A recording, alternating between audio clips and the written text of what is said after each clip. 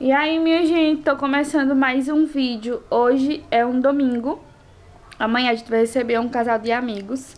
É... E aí eu decidi mostrar a situação aqui. A minha casa em si, assim, os outros cômodos, tá tudo ok. Porque eu consegui passar pano na cozinha, lavar os pratos, tudo bem certinho. É, passei pano também no quarto de Gabriel, lá na sala. Só ficou o nosso quarto mesmo bagunçado. E que bagunça. Tirei as roupas lá do varal hoje cedo. Só que a gente saiu pra ir pra igreja e não deu tempo pra arrumar. Nisso ficou uma bagunça aqui em cima da, da cama. E aí também eu separei uma coisinha pra dar presentinho pra essa amiga que vai vir pra cá. E aí eu decidi compartilhar um pouco com vocês, porque eu também vou preparar o almoço. Aí, como eu sei que vocês gostam de me ver cozinhando também, vai rolar comidinha. Já coloquei o feijão ali de molho também, vou fazer feijão preto. Espero que fique uma delícia, mas antes eu preciso dar uma organizada aqui nesta bagunça. E eu sei que vocês também gostam das arrumações, então bora sim, bora arrumar comigo. Vou mostrar o antes e o depois, porque vai ser assim, digno de antes e depois. Fechou?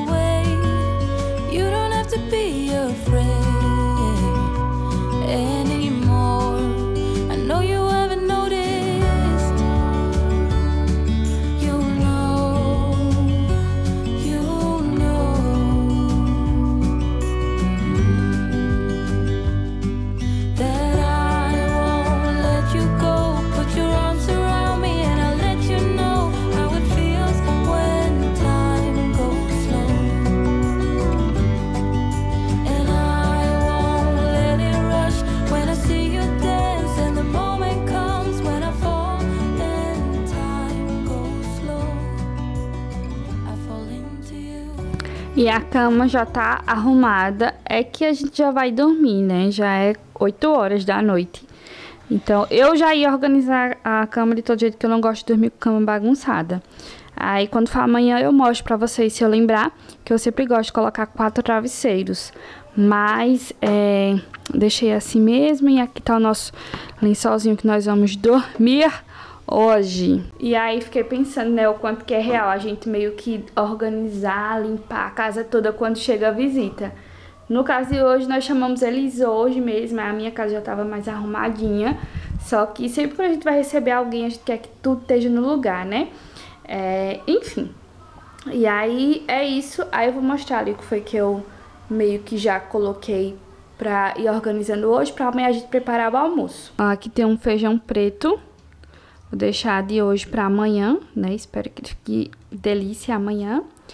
E é, de carne eu separei frango e também eu tenho duas bistecas suínas. Eles comem carne de porco e eu gosto de fazer mistura de vez em quando é, dessas duas carnes. Porque o tipo de assar, cozinhar é o mesmo. Então, eu sempre gosto de dar uma misturada e acho que dá um saborzinho a mais também. Então, eu vou deixar, vou colocar, na verdade, em uma vasilhinha e vou deixar na minha geladeira, né? Eu tirei mais pra eu não esquecer de tirar do congelador. E aí eu vou descongelar e amanhã a gente frita, enfim, vou mostrar tudo. E como filha de Deus que sou, vou jantar agora, tardão, ó. Coloquei cuscuz, aí tinha linguiça do churrasco, carne, queijo. E se você ainda não acompanhou, postei um vídeo aqui no canal é, mostrando um pouquinho, né, do nosso domingo de feriado, de carnaval. Então é isso, vou comer e já já vou dormir, porque eu tô com sono, viu? Que hoje foi bem puxado e teve piscina também. Nossa piscininha de plástico, mas é, deixa a gente bem cansado, né? Doida pra pegar uma marquinha, minha gente. Que marquinha, torrei no sol. Achei o auge, pensei que ia ficar, mas ficou não.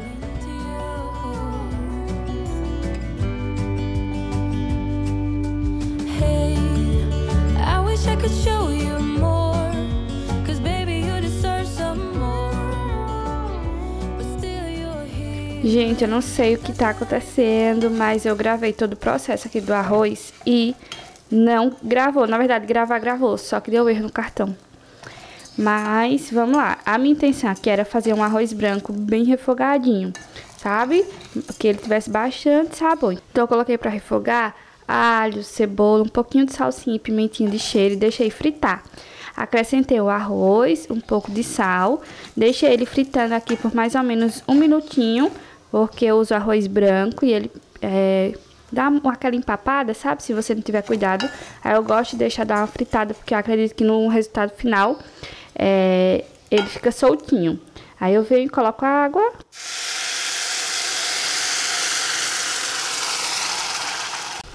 Pronto, acho que agora gravou pra vocês.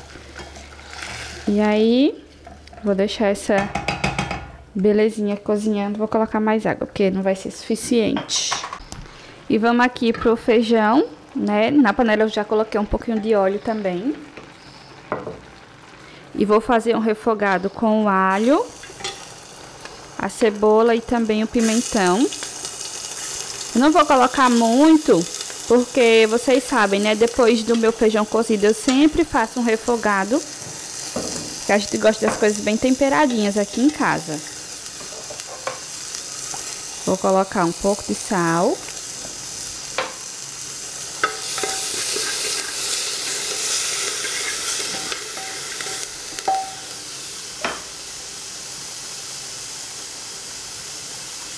E já vou colocar aqui rapidinho o nosso feijão, que eu deixei de molho, né, de ontem para hoje.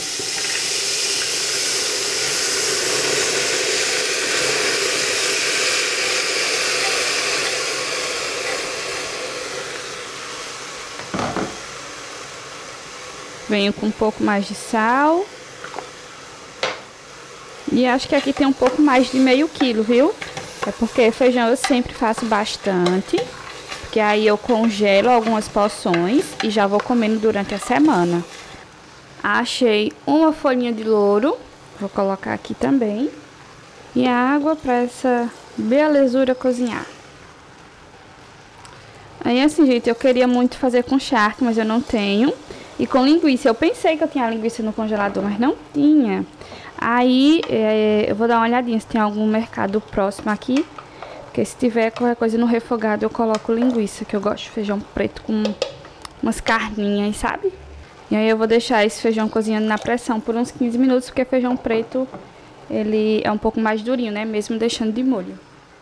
Gente, fui ali no mercado rapidinho, pensei até que não ia estar tá aberto, mas graças a Deus estava. E eu comprei algumas coisas, ó, comprei esse temperinho de manjericão, que é manjericão desidratado. Tinha essas bandejinhas de queijo, que não vem muita não, viu gente? Acho que cada fatia sai mais ou menos um real. Mas, ó, peguei essa de 3,77, peguei essa de 2,91 e peguei essa outra de 2,29.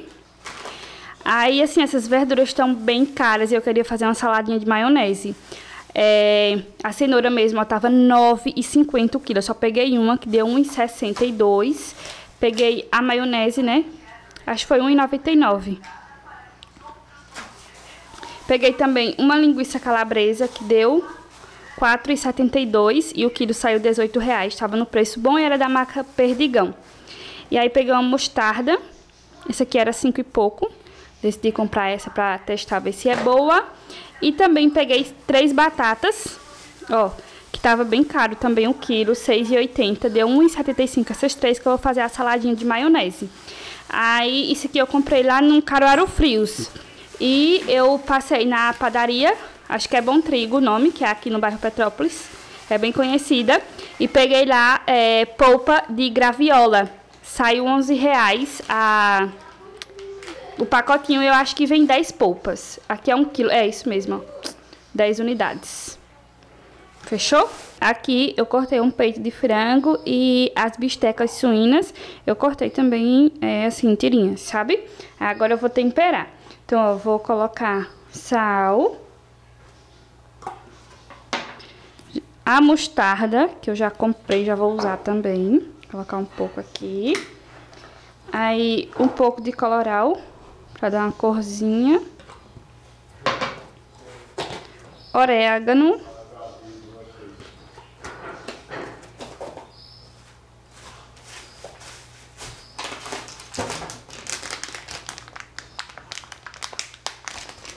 O manjericão desidratado, um pouquinho só. E vou colocar o alho picado também. Aqui. Ainda é cedo, então eu vou deixar por um tempo essa carne no tempero. Aí quando for perto da hora do almoço, aí a gente coloca pra fritar. Eu vou fritar ela na panela de pressão. Inclusive já vou fazer o refogado do feijão que ele já cozinhou. E aí, é... depois eu coloco ela pra fritar na pressão, que fica bem gostosa, gente. Porque aí é, cozinha a carne, né? Principalmente porco, assim, né? É bom você deixar bem cozidinho. E é isso. Vou deixar aqui e depois eu vou espremer um limão também. Vou dar uma procuradinha no limão ali na minha geladeira e vou colocar aqui também. Vamos lá fazer o refogado do feijão, né? Mais uma vez já tem óleo aqui na panela, vou colocar a linguiça. E eu não vou deixar ela fritar muito não, porque senão acho que ela fica muito seca, sabe? Então eu vou deixar aqui fritando um pouco. Ó, uma friturinha bem de leve. Aí eu vou colocar alho, cebola, pimentão. E também o tomate. Aí vou deixar tudo isso fritando. E também vou acrescentar cebolinha picada. Eu também colocaria coentro, só que eu não tenho em casa. Eita, deixa eu ver se tem congelado. Ô, oh, gente, tem um restinho do restinho. Vou colocar aqui tudo. Fui no mercado, também não tinha, não.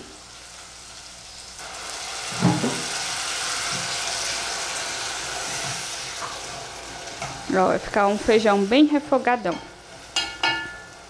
Aí eu gosto de deixar dando uma cozidinha nisso aqui. Até tampa a panela. E geralmente coloco também um pouquinho de água que a linguiça fica bem gostosa, fica suculenta e fica molinha, sabe? Fica uma delícia. Aí já meio que cozinhou, aí começou a fritar e agora eu venho colocando o caldo do feijão, que aí já vai pegando sabor. E eu vou acrescentando aos poucos mesmo. Aí daqui a pouco eu coloco o feijão inteiro aqui e deixo ferver por uns minutinhos para o caldo dar uma engrossada e também para pegar o sabor dessa belezura. E aqui eu coloquei a batata e a cenoura já picada para fazer a nossa saladinha de maionese. E ó, eu coloquei também um dente de alho que eu só dei uma amassada com a faca nele, que eu acho que dá um saborzinho bem bacana também aqui na hora do cozimento. Eu vou deixar cozinhar e depois a gente finaliza com a maionese. E também já aproveitei para fazer a nossa salada. E é uma salada bem simples, viu, gente? Só com alface, tomate, pepino. Só que aí eu encontrei uns queijinhos que eu tinha congelado.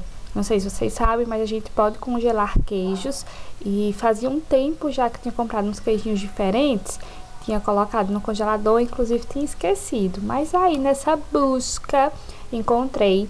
E aí foi o que deu um incremento nessa salada.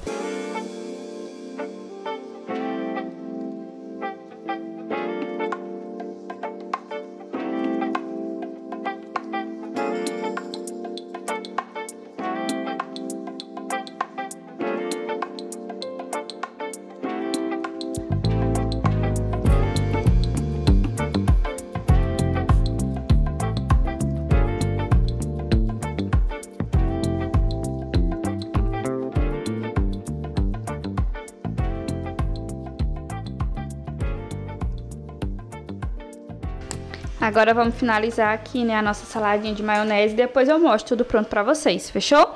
Eu vou, ó, peguei uma fatia de mussarela. Vou colocar aqui porque essa batata tá quente. Aí vai dar uma derretidinha e vai dar um saborzinho a mais. Eu também vou temperar com um pouco do manjericão desidratado. E vou colocar a maionese. Vou colocando aos poucos. E para nossa salada de folhas também, gente, aquela de alface e tudo mais, eu também vou torrar umas amêndoas que eu encontrei na minha geladeira, porque dura muito, né? Faz muito tempo que eu comprei e aí torradinha fica bem gostosa na salada. E também já vou aproveitar para colocar nossa carne para fritar. Vamos lá, gente. Ó, a minha panela, eu deixei ela esquentando bastante. Aí eu venho e coloco um fio de óleo, assim. Uh, não precisa ser muito, não. E eu venho com a nossa carne e vou colocando aqui no fundo da panela.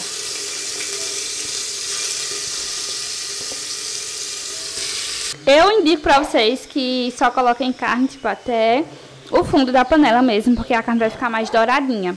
Porém, hoje tem bastante e eu vou fazer assim do mesmo jeito, porque o mais importante é dar aquela cozinhada, o tempero já tá bem gostoso. E aí eu vou tampar agora a panela sem colocar água nem nada e vou deixar por mais ou menos 3, 4 minutinhos, porque tem bastante carne hoje. E aí quando eu abrir a panela eu mostro como é que fica. E aí vou fazer um suco aqui, que é o de graviola, né, que a gente comprou. Vou colocando aqui porque já já vou ter que lavar tudo mesmo.